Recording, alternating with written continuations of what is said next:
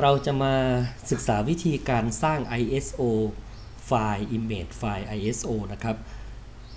คำสั่งที่ใช้ในการสร้างก็คือคำสั่ง gen ISO นะครับ gen ISO image นะครับ gen ISO image ในขั้นแรกนะครับ เราออกคำสั่ง sudo su ก่อนนะครับ แล้วก็ใส่รหัสผ่านนะครับ จากนั้นนะครับผมไปที่โฟลเดอร์ temp นะครับ เข้าไปในโฟลเดอร์ mcat ซึ่งผมได้สร้างเอาไว้แล้วนะครับ ซึ่ง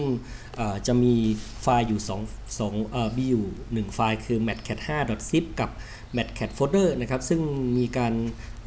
extract ไฟล์ออกมาเรียบร้อยแล้วนะครับ ถ้าเรานะครับ ls ดูนะครับ เราจะเห็นว่ามีไฟล์นะครับดังนี้นะครับ ทีนี้เราจะลองทำการสร้างนะครับ ทั้งสองทั้งทั้งหนึ่งไฟล์กับ1 directory นี้นะครับเขียนเป็น ISO ออกมา ใช้คำสั่ง gen ISO image นะครับ จากนั้นออกคำสั่งลบ r ลบ o นะครับ แล้วก็ตามด้วยชื่อไฟล์ image สมมุติว่าผมต้องการให้ชื่อว่า mcat นะครับ mcat.iso นะครับ ตามด้วยนะครับ directory ที่เราต้องการที่จะทำการ ทำการสร้าง ISO นะครับตอนนี้ผมใช้คำสั่งจุด slash ก็คืออตำแหน่ง directory ปัจจุบันนะครับกด enter นะครับมันจะทำการนะครับสร้างนะครับ ISO ออกมาให้เรา ซึ่งตอนนี้นะครับ ISO ของเราเกิดขึ้นมาแล้ว 1 ตัวชื่อ mcat.iso ซึ่งจะเป็นการรวมนะครับรวมทั้ง2อ่าหนึ่งไฟล์กับอีกหนึ่ง directory นี้เข้าด้วยกันนะครับเป็น i เป็น mcat.iso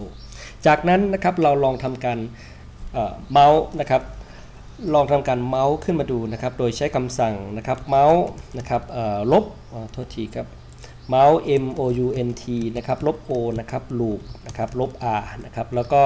ชื่อไฟล์ mcat นะครับ mcat .iso นะครับจากนั้น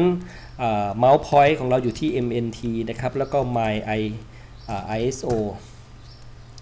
กด enter นะครับจากนั้นเรา ls ดูที่ mnt นะครับ my iso นะครับจะเห็นว่ามีนะครับมีหนึ่งไฟล์กับอีก